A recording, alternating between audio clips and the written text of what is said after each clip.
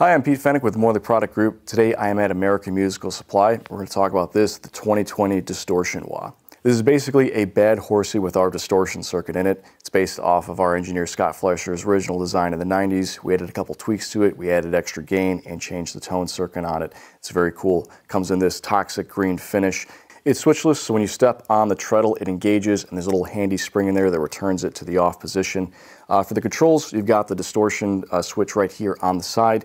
You have a gain control, tone control, and of course a level control on it as well. And with that, you can crank the distortion all the way up, get a nice roaring sound, or you could dial it back and turn the volume up on it to get a nice boost sound.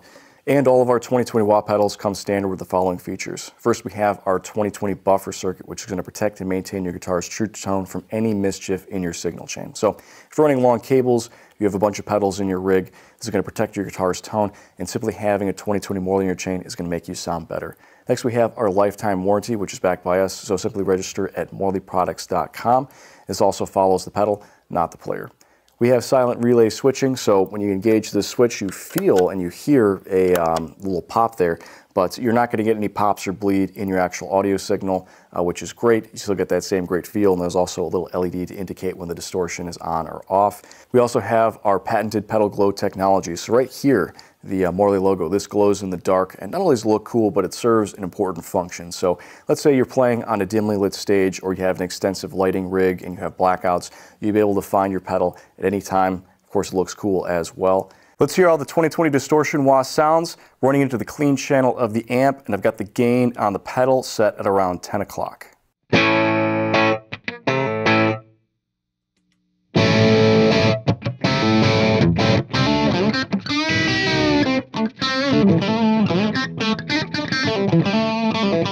All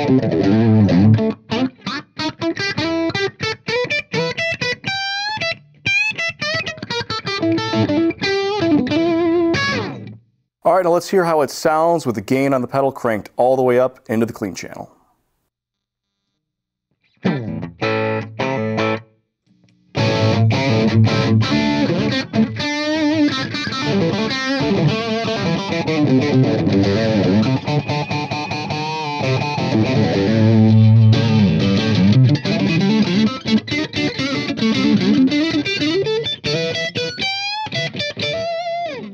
Here's how it sounds with the wah engaged with the distortion set at 11 o'clock.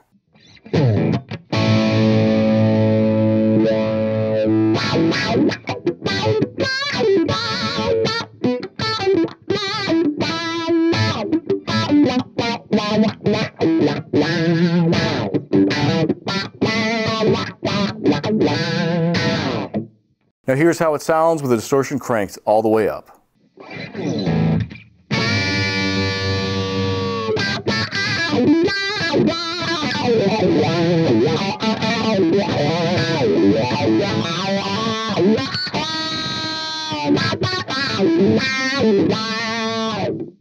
Now here's how it sounds with the distortion on the pedal set around 11 o'clock, kind of lower gain, going into the crunch channel of the amp.